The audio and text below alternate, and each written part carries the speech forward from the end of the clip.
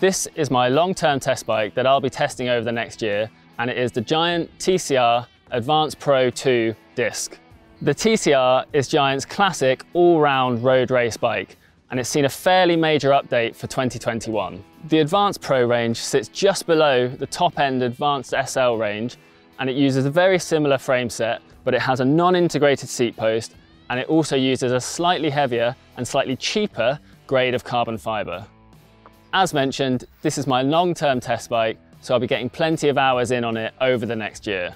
I'll be doing a series of updates talking about what parts I like, what parts I perhaps didn't like so much, what changes I've made, and you'll be able to see all of that on bikeradar.com. And later on in the year, I'll be doing another video that gives you a much more detailed review of this bike, so stay tuned for that. Before I get into the nitty gritty, I'd like to say a big thank you to Freewheel for providing us with kit for this video. If you like the look of anything you see, you can head to Freewheel by following the link in the description. I've gone for this bike because I'm still a roadie at heart. Gravel is undoubtedly having a real moment right now, but I still do practically all of my riding on the road. I love doing group rides, long climbs, fast ascents, and basically pretending I'm in the tour. I also have a lot of experience with the Giant TCR, having owned a 2009 Advanced SL model for the past six years. I'm hoping this new bike, however, will allow me to ride faster, more comfortably, and over more varied terrain than ever before. Changes to the TCR over the years have tended to be fairly incremental, but 2021 sees a slightly bigger shift. As with the advanced SL models, the Advanced Pro range gets some big upgrades in terms of improved aerodynamics and much greater tyre clearance. Tube shapes have been updated across the board to increase their aerodynamic efficiency.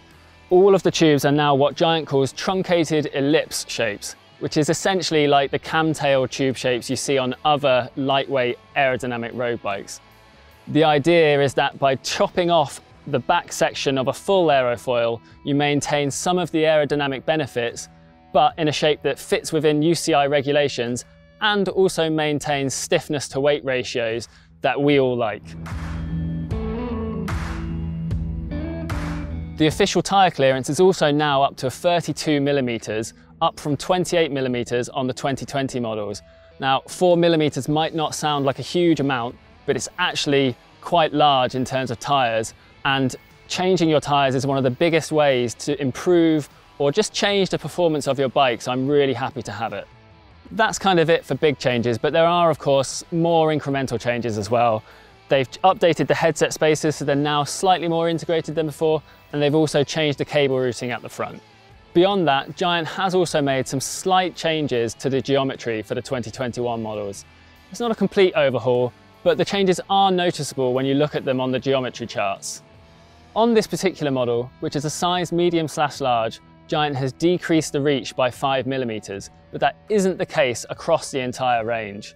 Instead, Giant has tweaked the stack and reach figures so that they're more consistently both higher and longer across the range than before. There haven't been massive changes to the head tube or seat tube angles, but at 73 degrees parallel on this size medium large, it does make it slightly slacker than something like the Specialized Tarmac.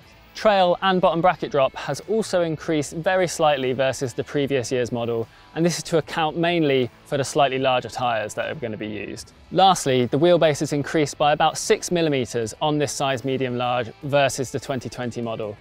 This should lead to a slightly more stable bike at high speed. Interestingly, this change comes mostly at the front of the bike, which means the chainstays remain quite short and should provide that same snappy pedaling response that you're used to with a TCR. Overall, these changes point to a bike that's slightly less aggressive and should be a little more stable at higher speeds than the previous year's models. How does this translate into the real world though? Well, I'll give you my ride impressions later on in the video.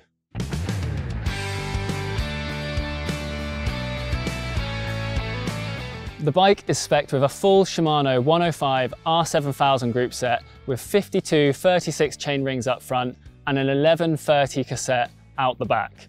Other than the gearing and the brakes though, everything else is from Giant. So that's the wheels, the handlebars, the stem, the saddle, the seat post, the tyres, everything.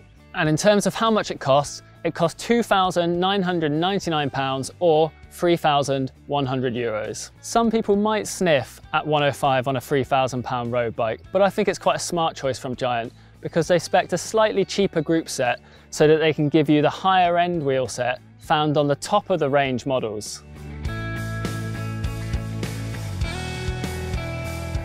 The new SLR1 carbon wheels are 42mm deep and are based around the Cadex design, Cadex being Giant's premium sister brand. And they're both wider internally and externally at 19mm and around 24.5mm respectively.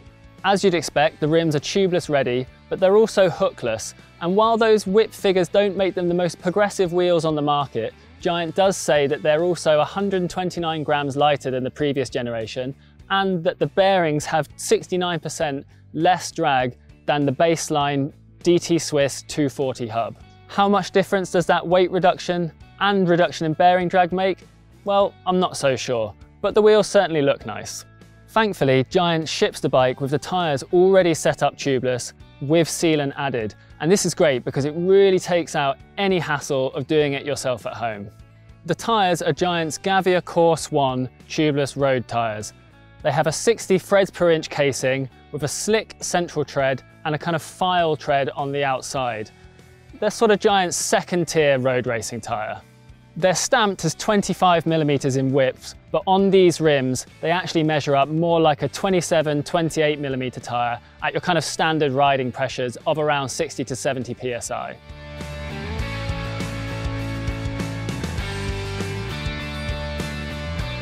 Enough of me talking about the spec of the bike though, what you really want to know is how it rides. I think the most immediately noticeable thing about how it rides is how smooth and confident it is. I think this is largely helped in part by the tubeless wheels and tyres. Being able to run slightly lower pressures without the risk of pinch flatting really helps in this regard. The other noticeable thing, and this is very much particular to me, is that the front end on this bike is almost comically wide and short. I tend to run very narrow handlebars and quite a long stem, so the 42 centimeter bars and the 110 millimeter stem on this bike feels very short and very wide. This won't be the case for everyone, of course, but for someone who's very thin like me and quite concerned with aerodynamics, running a longer, narrower setup is something that I've really learned to love over the past few years. And the wide, short setup on this feels quite twitchy. Pedaling stiffness feels great, Obviously, for someone who weighs 65 kilos and has a max power output of less than 1000 watts, I don't really stress that on a bike, but it feels perfectly adequate when you're climbing. As mentioned, the tyres have a 60 TPI casing, so I think there could be potentially room to upgrade there, as there may be faster options on the market with a higher thread count, a more supple ride feel, and less rolling resistance.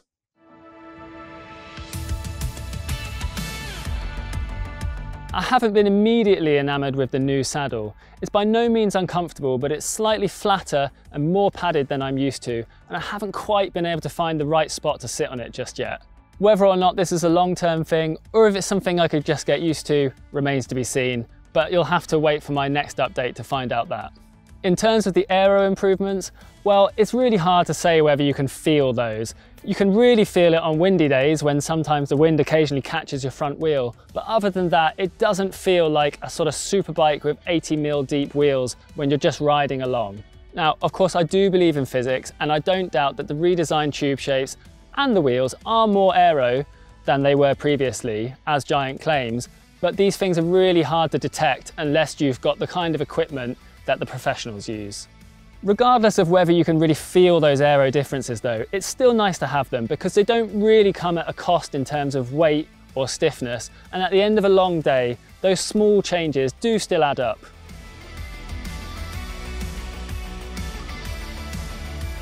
Overall then, it would be easy to argue that it isn't the most exciting bike on the market, but it does do everything you could ask of a road bike very competently. The build is great, and in my experience, the new 105 works just as well as the slightly more expensive group sets. It just gives up a little bit of weight. And that brings us quite conveniently to the overall weight, because despite the slightly heavier 105 group set, it actually only weighs 7.87 kilos, which is very competitive.